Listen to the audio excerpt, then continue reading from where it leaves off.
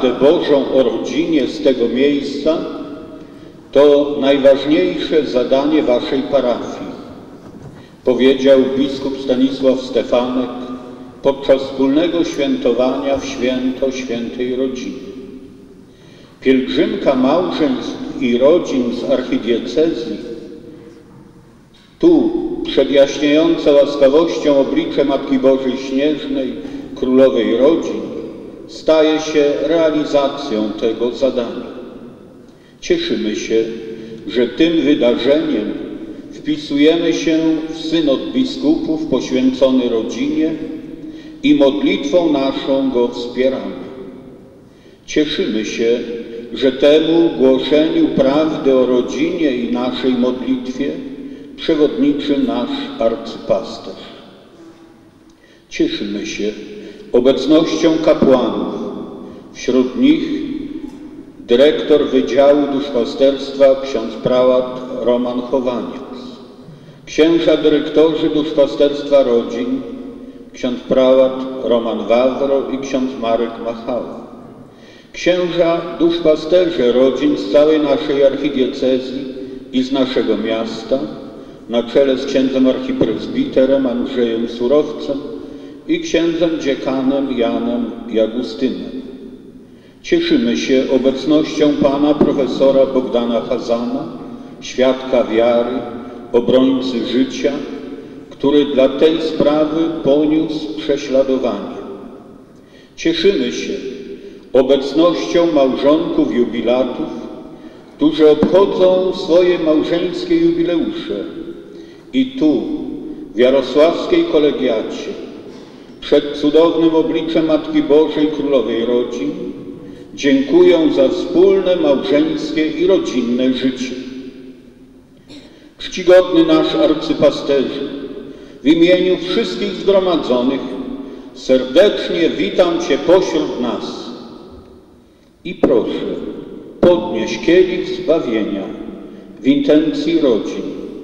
Niech stają się silne Bogiem, niech wzrastają w łasce u Boga i ludzi, niech wzrastają w miłości i niech oręduje za nami Najświętsza z Matek Maryja, Królowa Rodzin.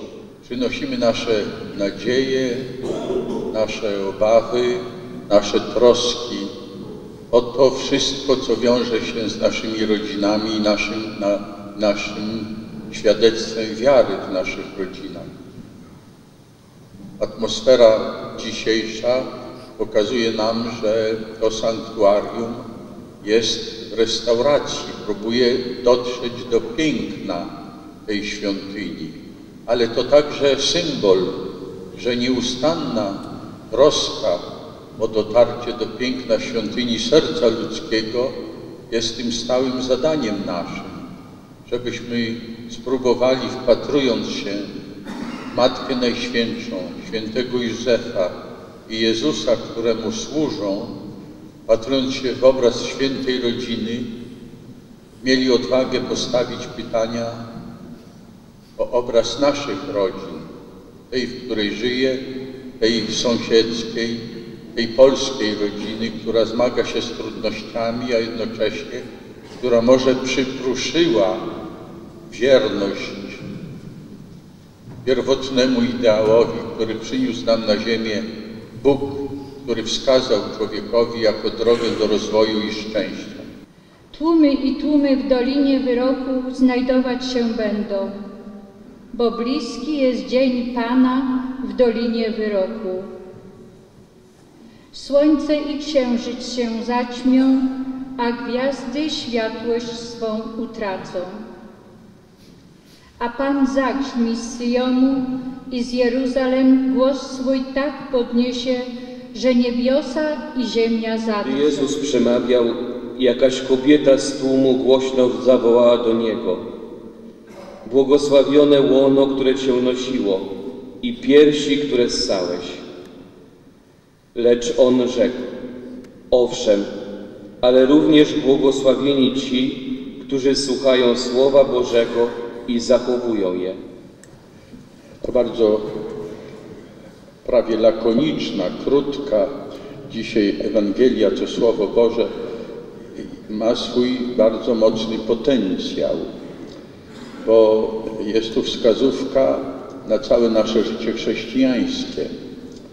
Jeśli chcemy być chrześcijańscy, jeśli chcemy być Chrystusowi, mamy słuchać Słowa Bożego, tak jak Maryja, która całe życie słuchała Słowa Bożego, żyła nim, która przyjęła to Słowo Boże, Słowo Boga, Ojca, stała się Jego matką. I całe jej życie było podporządkowane właśnie posłuszeństwu Bogu. To jest ta droga do naprawienia, do wzrostu, do wzlotu każdego człowieka, każdej rodziny, każdej sytuacji. Dzisiaj widzimy, że Pan Jezus to właśnie powiedział, że nie, nie tyle błogosławiona Maryja przez to, że jej łono nosiło Słowo Boże, nosiło tego wielkiego proroka i więcej niż proroka, znosiło tego cudotwórcę, wiemy, Zbawiciela naszego, ale błogosławieni, owszem, ona tak, ale również błogosławieni ci, którzy słuchają Słowa Bożego i zachowują je, i zachowują je. Myślę, że to jest ta wielka droga, wielka recepta, wielkie światło, które się zapala przed nami w naszym życiu chrześcijańskim, za którym powinniśmy iść. Nasza pielgrzymka jest bardzo symboliczna. Są księża duszpasterze rodzin w dekanatach, są przedstawiciele tych rodzin. Bardzo się cieszymy, że jest z nami pan profesor Hazan, który ostatnio stanął, na, dopisał się do listy tych największych obrońców prawdy o życiu, o rodzinie, o wierności właśnie sumieniu, wierności sumieniu w naszym spojrzeniu na życie. To jeszcze nie tak dawno dla nas starszych, dla ludzi mojego pokolenia, kiedy przecież za prawdę o życiu od chwili poczęcia do śmierci ludzie płacili wielką cenę. Okazało się, że i dzisiaj wcale się to nie zmienia. Ale tamto, w tamtych latach prawdę o życiu uratowali, właśnie uratowali tacy ludzie jak ksiądz Karol Wojtyła, który jako profesor głosił tę prawdę piórem, słowem. Uratowali ci, którzy poszli za jego wskazaniami, wspomniana przez pana profesora dr Kutaska, dr Fijałkowski, Teresa Strzembosz.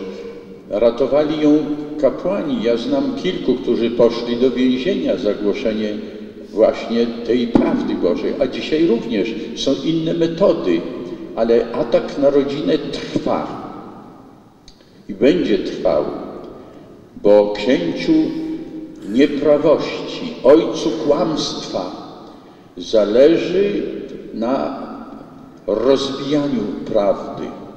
Chrystus przyszedł głosić, że jest drogą, prawdą i życiem, wprowadzić królestwo prawdy, miłości, życia, pokoju, nadziei na zbawienie, zbawienia, a nieprzyjaciel Chrystusa nie śpi.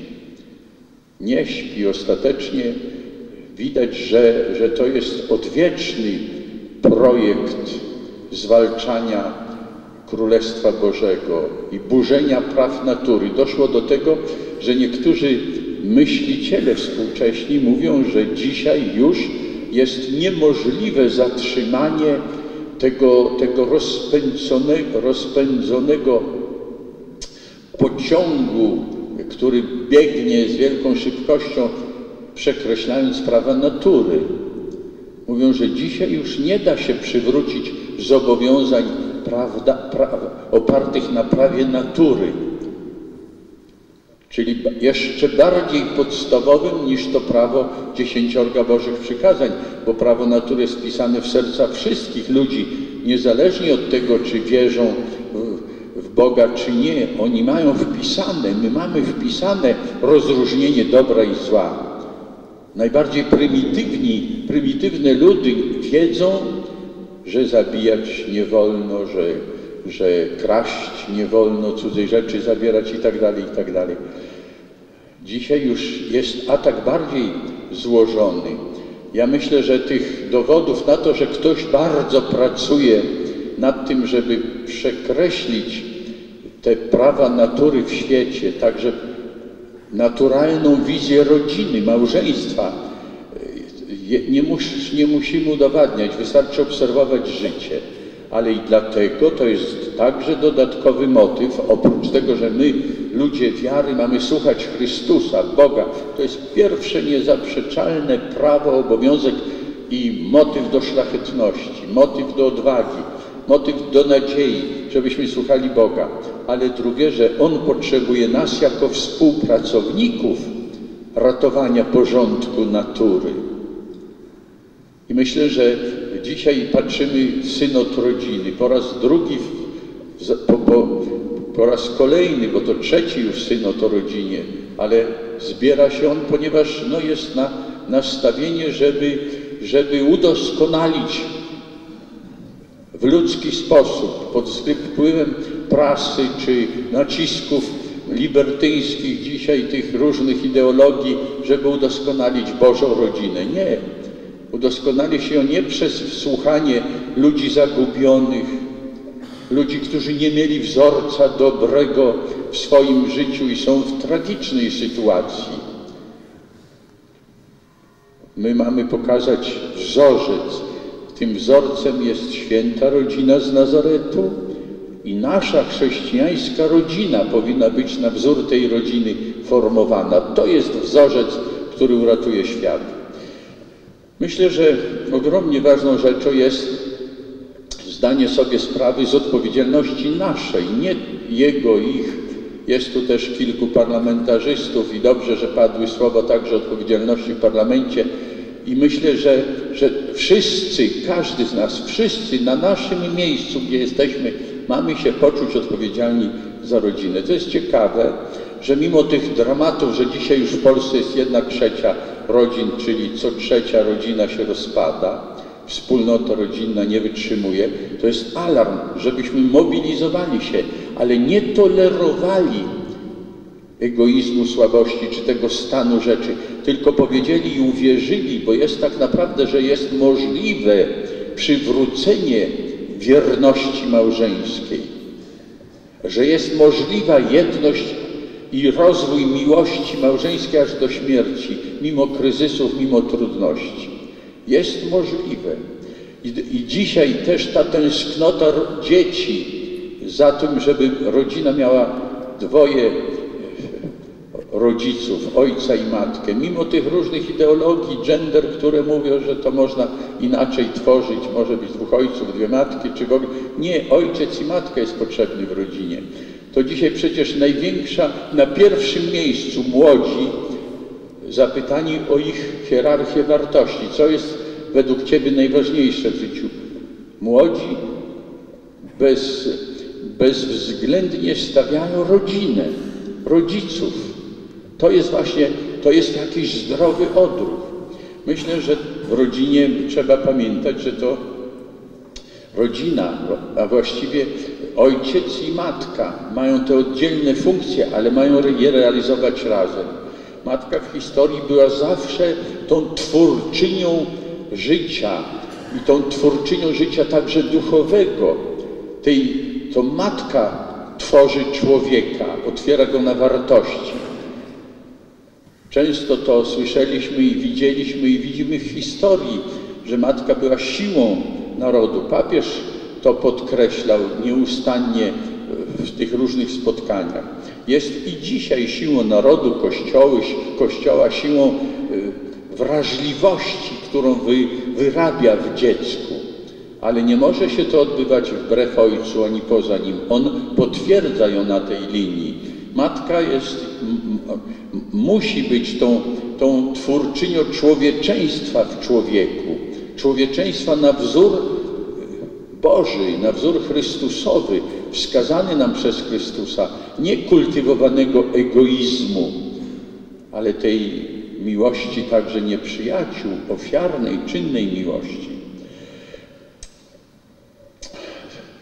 Czytam takie świadectwo więźnia.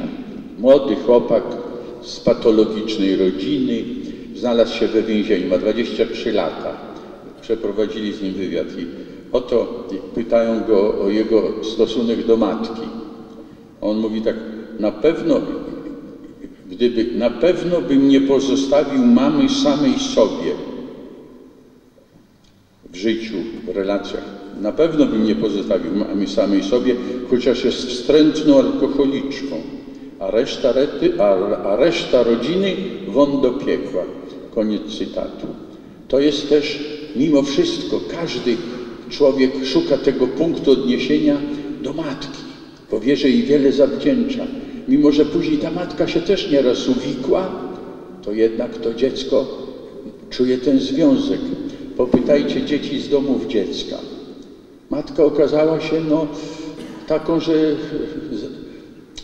nie wytrzymała te, tych wymagań miłości macierzyńskiej. Dziecko się znalazło tam, ale ono tęskni. Jak pojedzie na odwiedziny na jakiś weekend, że wreszcie zaprosi to dziecko do siebie, to wróci i będzie opowiadać e, złote góry, będzie malować przed kolegami, koleżankami, jaką ma piękną, dobrą, jaką czuło matkę. To jest właśnie też jakieś świadectwo wartości ofiary miłości macierzyńskiej. Myślę, że to trzeba bardzo pielęgnować, bo bez matki zamiera kultura, zamiera wrażliwość. Trzeba tym matkom naszym pomagać, wytrwać. I dlatego tu ma funkcję ogromną także ta szersza rodzina, i babcia, i dziadek, i sąsiedzi, i niech się chrześcijańska babcia i chrześcijański dziadek bardzo gorliwie, uczciwie spowiada, jeśli nie podtrzymuje matki, córki, synowej w tym ofiarnym trudzie macierzyństwa, w tym znoszeniu trudów, albo kiedy krytycznie się wyraża o właśnie o matce, która przyjmuje kolejne dziecko, bo też i takie opinie bywają. Po co ci kolejne dziecko? Z jednym sobie poradzisz, albo w ogóle bez dziecka sobie poradzisz. Ty sobie przed Bogiem nie poradzisz. Nie tylko ona, matka, ale i ty, jeśli ją na złej drodze grzechu nie utwierdzasz, ty ją masz podtrzymywać, pomagać. Dlatego to jest ta ogromnie ważna rzecz, żeby ta matka w trudnościach dzisiaj czuła zaplecze męża, babci, rodziny najbliższej, sąsiedztwa, żeby jej, z niej pomagali wydobywać siły do sprostania tym trudnościom i wyzwaniom współczesnym.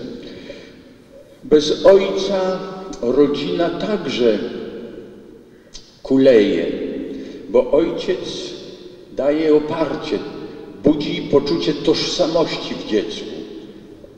Pomaga wytworzyć perspektywę, dalekosiężną perspektywę i podtrzymuje w tym, w tym planowaniu życia całego. Nie wszystkie, ale bardzo często te zaburzenia, które są w rodzinach, mają podstawę w tym, że ojciec zostawił. Zostawił matkę z jej problemami, dzieci zostawił. Dziecko nawet do tożsamości płciowej, potwierdzenia tej tożsamości potrzebuje właśnie tego zaplecza ojcowskiego. To jest ta wielka godność i ta misja ojca. Jan Paweł II przypominał, że nieobecność ojca powoduje zachwianie równowagi psychicznej i moralnej, że ojciec powinien potwierdzać te wymagania moralne, nie uciekać od prawdy, umieć też niekiedy się przyznać do jakiegoś niepowodzenia, ale zgodnie z sumieniem, z prawem natury. 85% młodzieży, uczniów szkół średnich, mimo wszystko wyraża szacunek do ojca 85%. Mimo zachwień, mimo mimo trudności, ojciec jest w jego życiu ogromnie ważny. To jest też wyraz.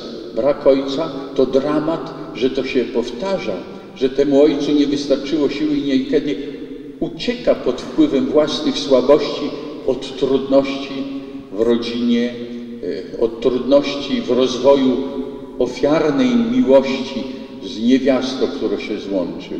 Też trzeba podtrzymywać tych ojców na drodze wytrwania zgodnie z tym słowem danym właśnie tej żonie i tym dzieciom. Przypomnieć pragnę, że jeden z kardynałów, wybitnych europejskich kardynałów, kardynał Wiednia, kiedyś powiedział, później to i prasa nasza prze, prze, prze, przypominała, mówi, ja jestem, mam, było nas trzech braci, mam dwóch braci, ale nas ojciec zostawił nas. Nasz ojciec odszedł.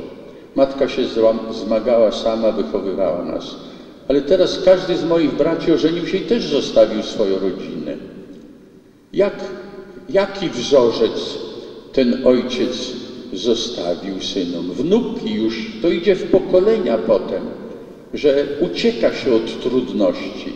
Ja myślę, że to jest wielkie wskazanie, żebyśmy umieli te trudności przezwyciężać. Dzisiaj będą te naciski, drogi na skróty. Nie ma dróg na skróty od rozwoju człowieka, od tego, od tego prawdziwego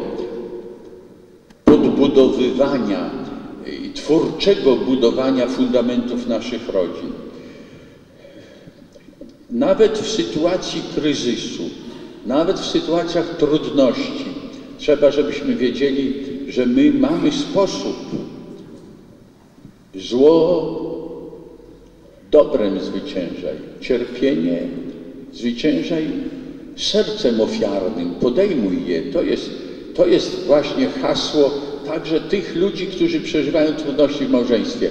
Niedawno ukazała się książka Anny Jednej, Sychar, na temat tych ludzi, którym się zachwiało małżeństwo, którzy, których małżeństwo się rozbiło. To jest wielki dramat. Jak się czyta tę książkę, widać jak ta kobieta, jak ta właśnie Anna próbuje, próbuje się pogodzić z tym. Przeżywa wielki dramat, ale się nie poddaje. Powoli dzięki pomocy tym ludziom z tego, z, z tego stowarzyszenia e, przezwycięża siebie. Ja myślę, że to jest ogromnie ważna rzecz, że kryzys wiary, wiąże się z kryzysem moralności, życia. To jest nierozłączne, ale kryzys wiary, kryzys miłości w rodzinie, w małżeństwie jest potrzebny, jest po to, aby się wznieść wyżej. I im większe trudności, tym, tym trzeba, to jest zaproszenie do większych lotów, bo ofiara będzie większa. I trzeba, żeby ludzie sobie pomagali, żeby podtrzymywali na tej drodze właśnie wytrwania i na tej drodze poderwania się do, ku większemu, ku piękniejszemu, ofiarniejszemu życiu.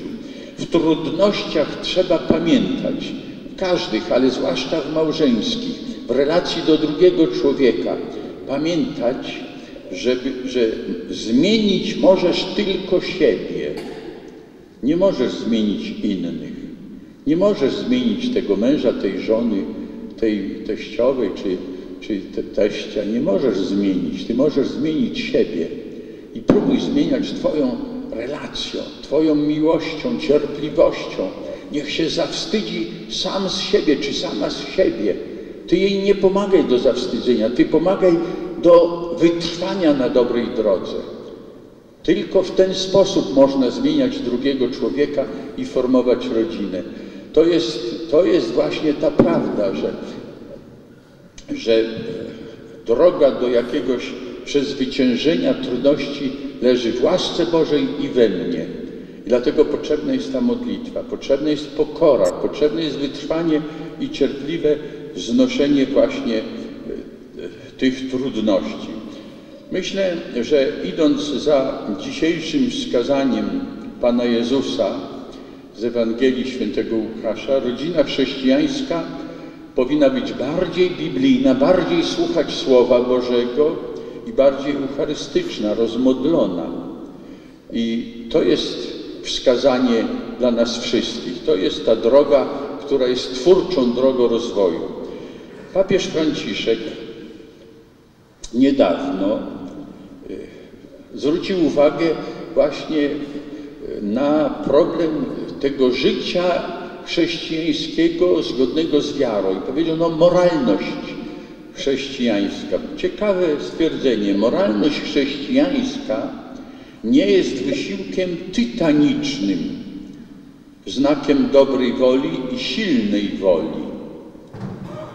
Jest odpowiedzią wzruszającą wobec zdumiewającego miłosierdzia, nieprzewidywalnego, wprost niesprawiedliwego według ludzkich kryteriów. Kogoś, kto mnie zna, zna moje zdrady i mnie kocha. Szanuje, obejmuje czule, wzywa od nowa, ufa mi, oczekuje na mnie. Moralność chrześcijańska nie jest brakiem upadków, ale ciągłym powstawaniem dzięki Jego dłoni, którą wyciąga do nas. To jest właśnie moralność chrześcijańska. Kontakt z Chrystusem, kontakt z Matką Najświętszą, kontakt z Bogiem. I tu trzeba szukać umocnienia, bijąc się we własne raczej piersi, w pokorze patrząc, że mamy wiele do stworzenia, że mamy wiele do poprawy, wiele do udoskonalenia i wiele do przebaczenia, bo i Bóg nam przebacza.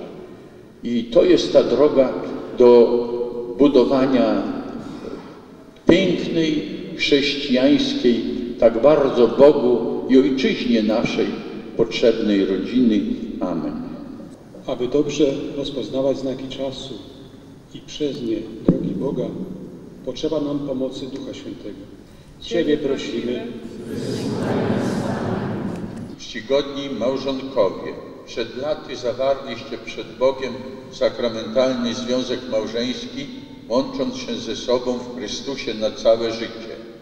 Wtedy ślubowaliście sobie miłość, wierność i uczciwość małżeńską oraz trwanie we wspólnocie małżeńskiej aż do śmierci. Na znak, że chcecie coraz doskonalej wypełniać swoje święte zobowiązania, podajcie sobie prawe dłonie i odpowiedzcie na pytania, które Wam zadam w imieniu Kościoła. Czy chcecie coraz doskonalej miłować się wzajemnie, biorąc za wzór ofiarną miłość Chrystusa, który oddał za nas swoje życie? Czy chcecie okazywać sobie coraz głębszy szacunek i żyć w doskonałej wierności małżeńskiej? Czy chcecie wspierać się wzajemnie w troskach i radościach, w zdrowiu i chorobie, służąc sobie z serca i modląc się za siebie aż do końca życia? Bóg Wszechmogący, od którego pochodzą nasze dobre pragnienia, niech umocni naszą wolę i wspiera Was łaską, abyście wiernie wypełniali święte ślubowania, dzisiaj ponowione, i zasłużyli na życie wieczne przez Chrystusa, Pana naszego. I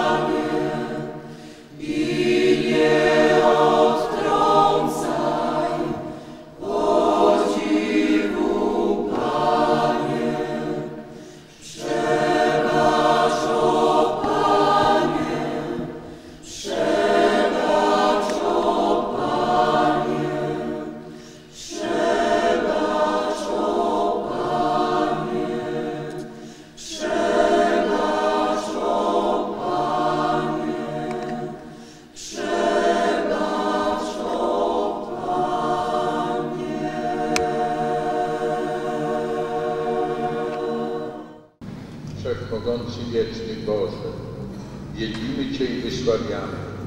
Ty uczyniłeś wielkie rzeczy na święcie Maryi Pannie, wybierając ją na Matkę umiłowanego Syna Twojego i naszego Zbawiciela.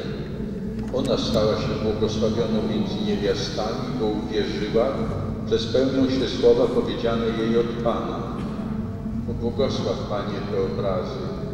Niech nam przypominają, że Maryja jest Matką Chrystusa i naszą Matką, do której możemy się uciec w każdej potrzebie. Spraw także, abyśmy jak ona naśladowali Chrystusa Pana, który żyje i króluje na wieki wieków.